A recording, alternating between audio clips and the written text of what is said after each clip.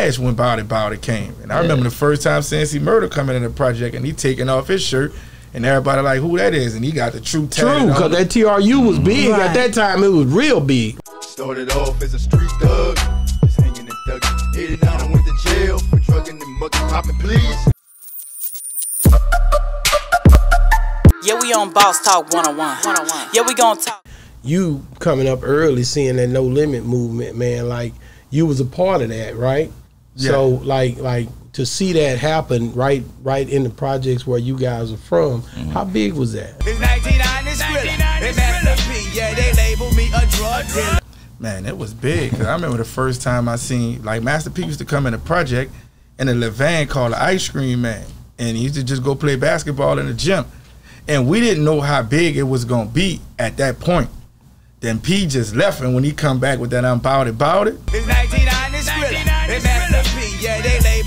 drug dealer. it was different. Whoa! So you wait a minute, because there was a whole big dilemma about Pete stealing uh, that whole ice cream man thing from them boys up there in California. But you telling me before Bout It Bout It he was dealing with ice cream trucks? Yeah, no, he had an ice cream man truck. The truck Are said the ice cream man. So this was before he even was really just tied in up there. 'cause What year was that? That was that? early No, on. P was already in California. Okay. But Okay. he used to come down and he'd be in his ice cream man truck and he'll come in a project, play basketball and But everything. that, like if that was Body Body early, that had to be early before that whole movement of that because they had two Ice Cream Man songs up there. oh word. I ain't yeah, know you didn't know that, but I've been watching. I be listening, and they they were trying to say like P kind of hijack jack what they had going, but early as you talking about, that would be way too early. Yeah, I I'm telling for you, I'm, sure I'm just had that because he when was Bowdy doing it. Bowdy came, it was different. Like the project was on smash when Bout It Bout It came, and I remember the first time Cincy Murder coming in the project and he taking off his shirt.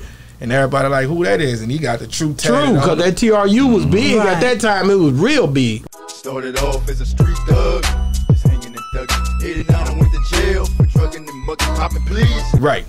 the TRU thing seemed I knew more about that. It was running naked. The no limit thing that this these were two different scenarios, right? Nah, it really was the same. It was the same, but they pushed. They was pushing one seemed like earlier than the other more. yeah. It was um first it was like it was Pete, but when he did his brothers, TRU. that was TRU. Yeah. So him, Silkk, and C was TRU.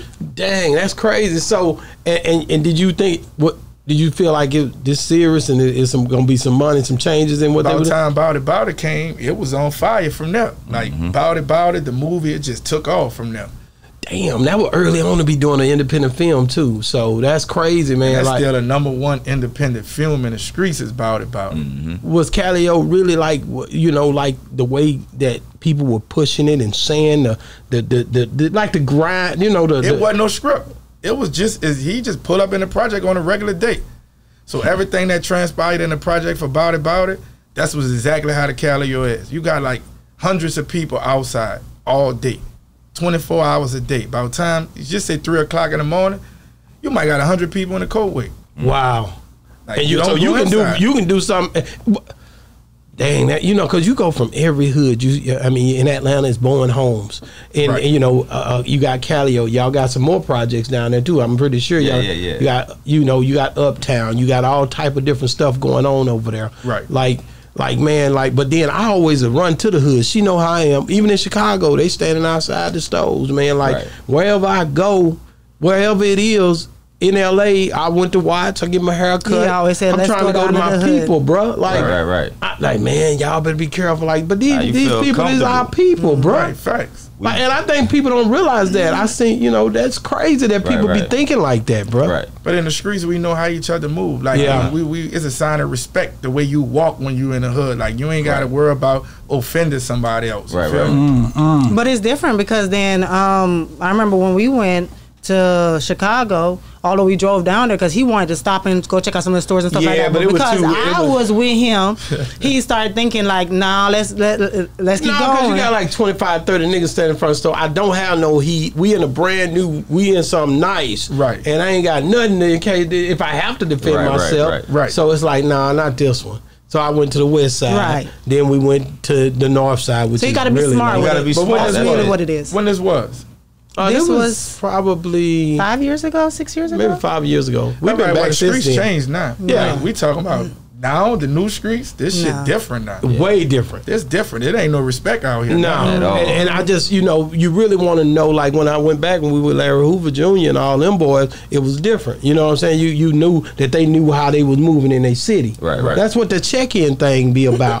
People really get offended by it, but really it's like it's the way you look at it. It's like if I'm a, if you come in and rock out with me, Right. you know I'm not I'm I'm for the rock with you. You know we good because we rocking together. Right. But if I'm rocking with just just just checking in with somebody I don't know, that that's different. It Right. could be exploitation. But you know Right, how right, you right. said how you said you know things Yeah, are if you, If different. you let it get like that, you know what Yeah. I'm saying? Yeah. If they see what they're dealing with, they're gonna see how to approach you. because Mm-hmm. you can check in like just on some man. Look, you need something, I got you. You know what That's I'm saying? it. I let my people know you out here because you know everybody be connecting when they're in the city. I know the robbers. I know this. I know this. People come in, they see shit.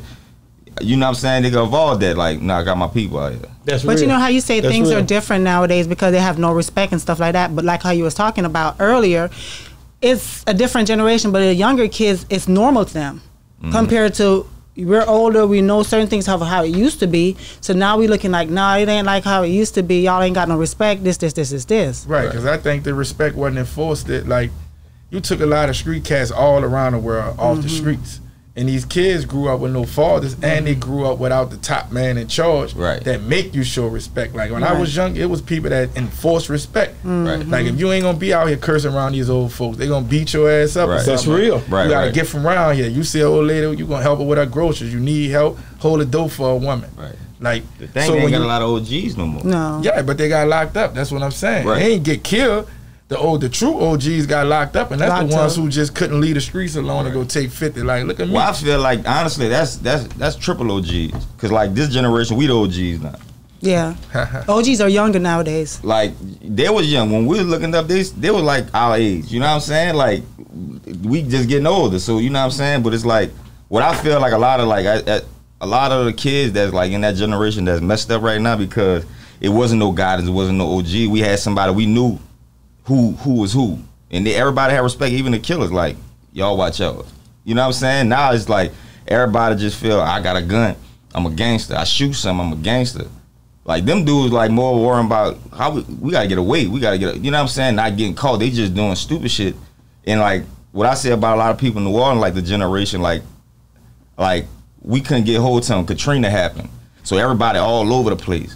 And then a lot of them, a lot of people knew us for oh they killers, they killers, they killers. Everybody, everybody in New Orleans ain't, ain't no killer. You know what I'm saying? I, I feel what you're saying. So about that. they they they they brainwash themselves to be a gangster. Like, oh, you from New Orleans, you a killer. So they they pretending. So all the scary mm-hmm. niggas. you Yeah, saying. so they All the pretending scary so ones, much they- that they- they, are a killer. Now I got a gun. Now now now I'm a killer. So now they going out. There ain't no structure. There ain't no rules. They just pop shooting. They just shooting shit because they know they ain't worrying about. Oh, I'm gonna catch this when when when the time right. They just like they just going with the move. Everybody getting caught. Everybody doing this. Innocent people getting hit because it wasn't. They ain't they ain't have nobody to listen to. Not not all these little kids coming out with this straight kill them song, shoot them up. We Yeah, it's with all this. in the music, and they too. growing up off that. That's what they feeding on. That was that's that's how we grew up off music. Mm-hmm. Or how I, this I, I need. But we this, seen consequences for our actions. Like Yeah. they rat But they and still come doing right it. back home. They rat and come home and kill some more. Yeah, we on Boss Talk 101. 101. Yeah, we gon' talk.